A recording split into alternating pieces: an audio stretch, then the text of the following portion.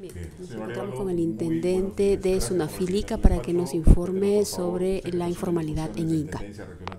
¿Cuáles son las primeras acciones que usted y su organismo ha realizado? ¿Qué tal? Buenos días. Reciban el saludo cordial de la superintendente Flor Rodríguez, Flor Cruz Rodríguez. Eh, mi persona está asumiendo la intendencia eh, regional de ICA desde el 19 de agosto. Se me ha encargado las funciones de liderar esta intendencia.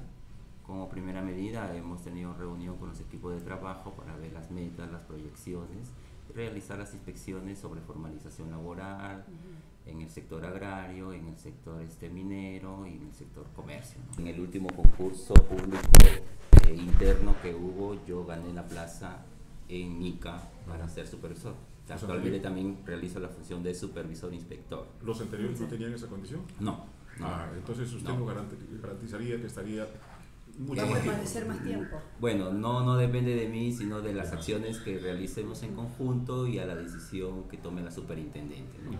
Ellos- Claro, Mientras Claro. tanto, su trabajo que viene desarrollando, usted recibe el activo y el pasivo. ¿Qué- Sí, sí, sí, sí, sí. Asumimos todas las responsabilidades que, que tiene la intendencia. ¿Y qué ha quedado pendiente precisamente de fiscalizaciones de la gestión No, lo que siempre es, es un, pro- un, digamos, un proceso continuo. Siempre estamos enfocados en la formalización laboral. Nosotros, nuestro principal este, eh, preocupación siempre es formalizar trabajadores. ¿no? Mm, Trabajadores que no están en planilla en las micro, en las pequeñas empresas. Esto. Se realizó la investigación del accidente de trabajo. Actualmente, ahorita, ahorita no tengo exactamente en qué situación está, pero sí se tomaron acciones, se envió un inspector de trabajo, hizo las investigaciones. Luego de eso ya el inspector de trabajo determinará si la empresa este, cometió una infracción o no. No, Entonces él tiene 10 días para ampliar, para realizar la investigación y emitir su informe correspondiente o su acta de infracción. Intendente, ¿y se ha presentado otros casos durante los días que usted ha podido revisar la sobre, documentación? sobre accidente de Ah, trabajo no. No, que nosotros tengamos conocimiento no. Se han generado denuncias tal vez por maltrato laboral o acoso en las agroexportadoras, que es un tema que ha sonado bastante en algunos momentos. Como acoso laboral no. El día de ayer tuvimos una visita en una agrícola respecto de trabajadores que eh, tenían una preocupación por las tareas que se les asignaban, ¿no? Se les ponía una meta muy alta, ¿ya? Eh, se ha hecho una, una investigación por parte de un inspector, fue a la, a la agrícola a verificar, pero este, no, no logró determinar que haya una infracción inmediata.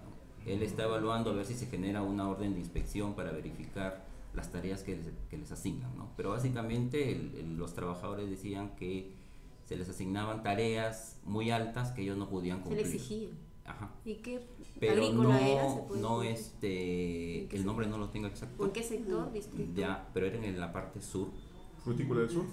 No, no, no, no, no, no, no tengo exacto el, el nombre, no, no le podría decir exactamente el nombre. ¿Ha Pero sí, sí se realizó la inspección para verificar si exactamente habían este, esta paralización que ellos habían hecho. ¿no? Ahorita tengo una reunión el día lunes con el director regional de trabajo para organizar operativos de orientación. ¿no? Nosotros tenemos operativos programados con DIRCETUR, que es hoy día, ¿no? por el tema del feriado largo, lo que vemos transportes.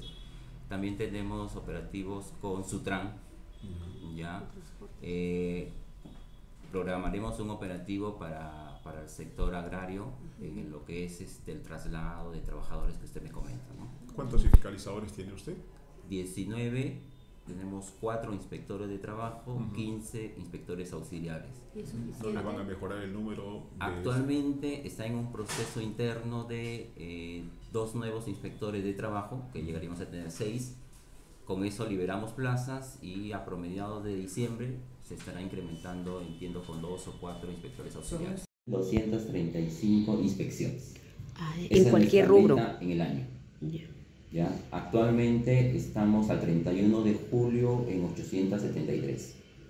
Eso es lo que vamos cumpliendo.